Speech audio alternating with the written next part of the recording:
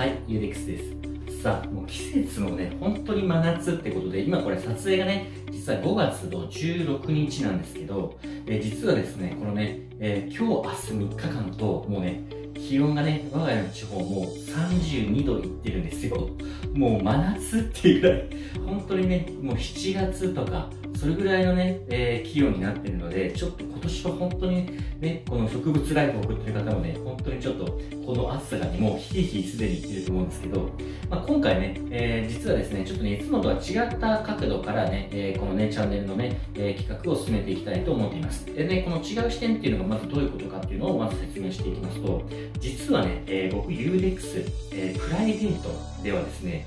え本当にね、えー、いろいろな植物を育てています。えいわゆる、え皆さんがね、知っている植物ってね、本当にね、えこうサボテンとかアガベとかディッキア、多肉植物っていうのがすごくね、え有名だと思います。またはこういって今、塊根植物とかね、言われているものもありますが、まあ、その中でもね、え僕まだまだ育てている植物がいっぱいあります。はい。でね、本当にいっぱいあるんですけど、その中でね、え山野草であったり、盆栽であったりとか、あと、シダ植物ですね。シダ植物も、えー、ビカクシダとかはね、すごくね、人気がありますが、僕は他にもね、えー、いろいろと、えー、一つ葉であったりとか、今ね、目の前にある、えー、こういったね、奄美大島の固有種、アマミデンダーとね、言われているような、種の保存法というね、言われているような感じで、法律で、えー、売買が守られているこういった植物であったりとか、えー、本当にね、いろいろな植物を育てています。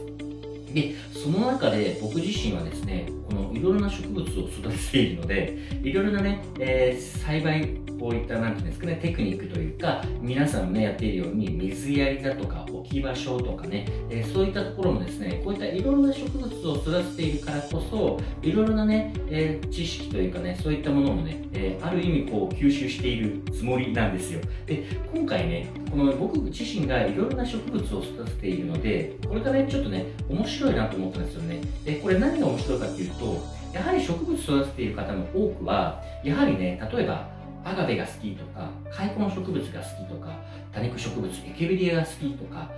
ね、ある意味ちょっとね、こうね、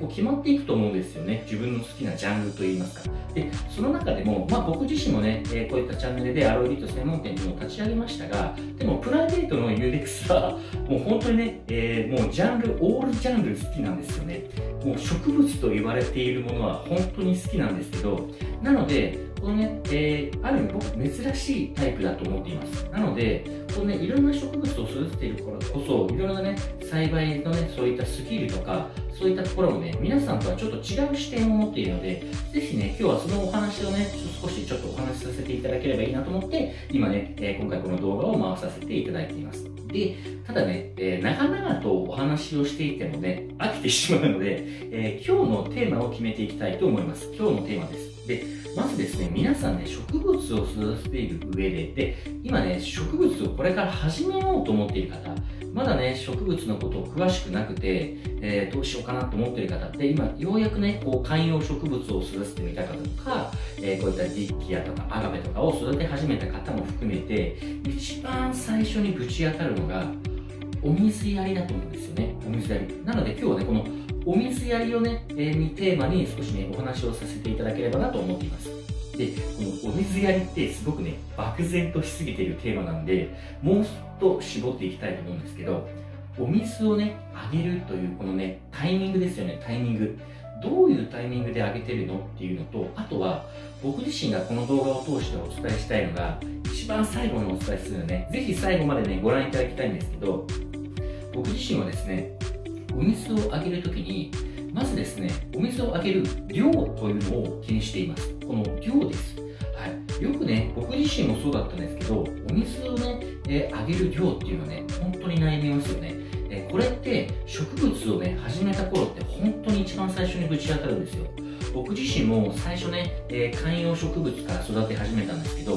まず最初、お水ってどれくらいあげるのって、3日おきなの ?1 週間おきなのっていうのが分からなくて、えー、ね、いろいろなネットで調べたりとか、今でいうこういう YouTube とかを見て、いろいろなね、えー、YouTube 先生を参考に、いろいろとね、お水やりをね、え、どんどんどんどんと自分の中で、え、吸収していったわけなんですが、まずね、このお水やりにぶち当たるのって何でかというと、やはりね、えー、一番最初はこのね、えー、いわゆるこういうね、鉢栽培ですよね。いわゆる僕はこういった、まあ、箱栽培っていうふうに捉えてるんですけど、まあ、こういったね、地植えをせずに箱の中で育てていると、何が起こるかっていうと、やはり根腐れですよね。この根腐れ、この空気の循環を気にしなければいけないっていうところが、やはりね、ネックになって、なかなかね、植物を育てるのがちょっと苦手であったりとか、ちょっとやっぱりこう、水やりに対して抵抗を持っている方が多いと思っています。で、今回ね、えー、この本当にいろんな植物を育てているので、まずね、簡単に、え説明すると、僕自身は、えいわゆるカム植物、ねえいわゆるね、えお水を貯蓄することができるよと言われている植物とか、えこういった開根植物、グラキリスですよね。こういった植物で、またまた、今ね、また初登場なんですけど、これね、熱帯植物と言われているね、えアグラオネマピクタムという植物なんですが、こういった植物って、本当にね、全然お水をあげる頻度、量が違うんです。で、ここがね、本当にね、僕がいろいろな植物を育てているからこそ、本当にね、お水やりに対して何も抵抗がなくなっているのは、まず一つ、お水をね、大好き、本当に毎日ジャブジャブあげてもいい植物と、3日おきなのかとかではなくて、お水がね、本当に必要のない、本当にね、貯蓄をしているので、そんなにお水をする、あげる頻度が少なくて済むよというね、大きく分けて2つに分かれると思っています。はい、でこれは本当にね、えー、いろいろなサボテンとかいろいろなジャンルはあるけどでも大きく分けて僕は本当にお水が必要な植物といわゆる貯蓄することができる、ね、植物と2つっていうことなんですよね。なので、でそしてこのまず次に、えー、ね、お水を毎日あげるような植物、さっき言ったこういったね、えー、こちらのね、奄美大島の固有種の奄美伝だと言われているが上演詞だっていうのは、本当にね、今ね、この時期は毎日お水をあげないと、本当にいけないぐらいのサイクルなんですけど、まあ、こういった植物は、お水はね、毎日必要なので、特に水やりはね、気にしなくていいですよね。でも逆に言えば、お水をね、毎日あげてるってことは、逆に言えば、これが1週間、2週間あげてないとどういうことになるのかっていうことなんですよね。でも、また、はたまた、多肉植物、こういったお水を貯蓄する機能のある植物は、逆に言えば、毎日あげてしまっているとどうなるの？っていうのと、逆にね、今皆さんがやってるように、えー、ね、えー、1週間おきだったり、10日おきだったり、2週間おきだったり、それぞれ皆さんサイクルが違うと思うんですけど、まあ、こういった感じで植物の特性というのをね、まず知る必要性があるよっていうことです。で、僕が言ったさっきの大きく分けて2つね、この2つを踏まえてなんですけど、で、さらに、えー、この植物を貯蓄する機能があるっていうことを踏まえた上で、ここからが僕がね、一番また大切にしているのが、お水をあげる量です。量。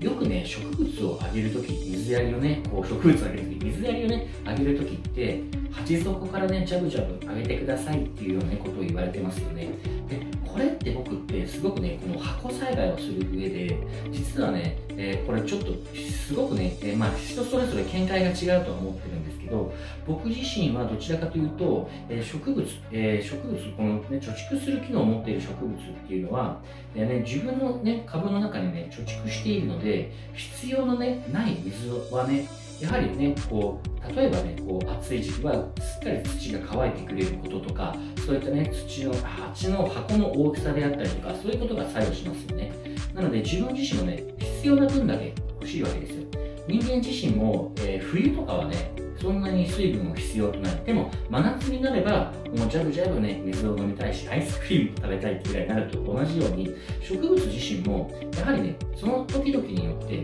お水をあげる量とか、その必要とする量が違うんですよね。っていうところがね、まずすごく大事だと思ってます。で、これって何が言いたいかというと、まあね、このね、植物を育てる上ですごく大事なのは、やはりね、このお水やりっていうところの部分で、で、さらにこのお水をあげる量っていうところなんですよね。で、僕自身は、えー、ね、いつも、えー、真夏とか、えー、特にね、こう、お水をね、乾くスピードが速ければ、まあ確かに、ジャブジャブ上げてもいいとは思うんですけど、まあ、僕自身は結構真夏でも、えー、そんなにね、ジャブジャブ上げてるっていう印象は僕自身も持ってません。っていうのも、どちらかというと、その時必要なお水の量を上げるっていう感じです。まあ、もっと言えば、根がね、しっかりね、お水を吸収してくれる量だけあれば、そのね、植物はいいわけですよ。なので、本当にね、えー、少し上げた時に、えー、ね、土の中がし、ね、湿って、えー、必要な分だけ上げればいいわけです。で、その中で必要な分だけ、また植物がえーね、成長して、えー、吸収して成長してくれるわけです。今回こういった感じでね、もう水やりをちょっとテーマにしてしまっている以上、ちょっとね、他に脱線するわけにはいかないので、ちょっと漠然とした説明になってしまったかとは思うんですけど、まあ、こういった感じで、いろいろなね、植物を育ててみると、本当にね、いろいろなヒントがあるよっていうことなんですよ。でね、この動画、一番最後にお伝えしたいのが、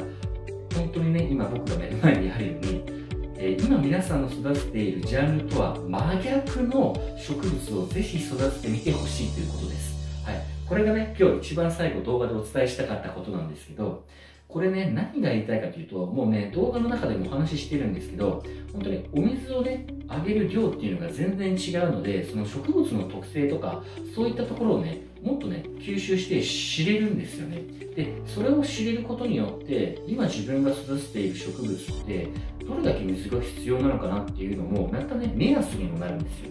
なので僕自身もね、本当に今本当にこうやってオールジャンルといいますか、いろいろなね、植物を育てていく中で、いろいろなね、ヒントを得ているんで、ぜひね、えー、いつもとは違う角度、いつもとはまた自分自身が興味ないえー、植物をぜひね、え育ててみてほしいなと思っています。今回ね、お水やりというテーマでお話をさせていただきましたが、まだまだね、本当にね、こんだけいろんな植物を育てていると、えー、いろいろとお伝えしたいことがあります。置き場であったりとか、えー、一日にどれだけ太陽光に当ててるのとか、または遮光とか、えー、僕自身もね、まだまだこれ紹介しきれてない植物もいっぱいあります。実はね、こう、盆栽とか、えー、山野草とか、えー、まあ、またまたこうお家に庭に勝手にね、えー、生えている雑草とか今僕すごく好きなので、まあ、そういった植物も含めていろいろとね本当にいろんな参考になっているのでぜひこれからもねちょっとたまにはこういった違う視点で、えー、何かね皆さんにねお伝えできればなと思っています。はい。それではね今回もねこの動画良かったなと思った方はチャンネル登録そしてグッドボタンの方よろしくお願いいたします。そしてねぜひ今このね、えー、動画の中で気になった植物があればね、ぜひコメントもいただきたいですし、またね、ぜひ、えー、園芸センター、ホームセンターでね、えー、植物狩りしてきてください。はい。それではね、またお会いしましょう。